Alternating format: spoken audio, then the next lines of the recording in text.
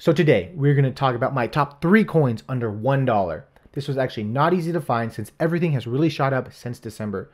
Great coins such as Dragon Chain, Zero X have already surpassed that milestone completely. But I have found three coins that I think have great potential to still do that same thing.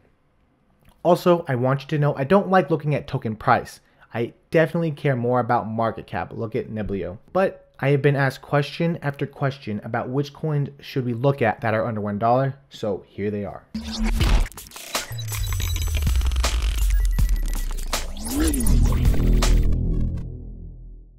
Hey there YouTube, welcome to Crypto Picks. First, thanks to all my subscribers. We've actually really grown quite a bit the last few days. That's awesome. I hope we can keep this momentum and just just shoot up. Hopefully we can do what the coins did and just rock it. Let's keep those subscribers going. If you haven't subscribed yet, smash that button. Also, all of you smash that like button.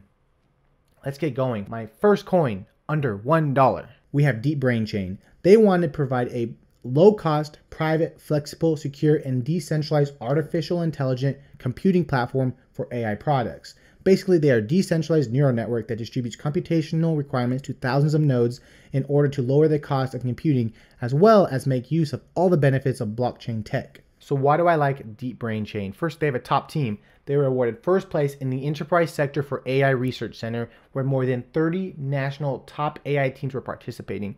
They have a working product with over 1,000 skills, and they have clients including Microsoft and Samsung.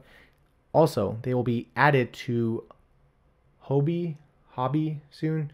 It's a Chinese exchange. Sorry, again, I am so bad with names.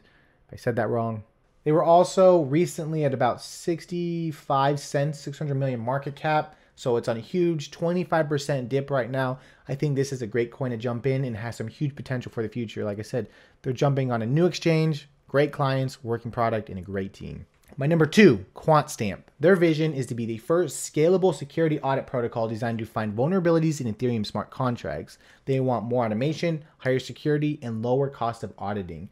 Basically, the network acts as a piece of transparency by enabling automated checks on smart contract vulnerabilities and automatically rewarding verifiers who identify bugs.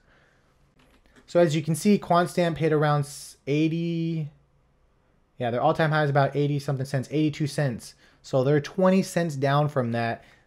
And we all know this one has some huge potential for the long run. It's only 383 million market cap.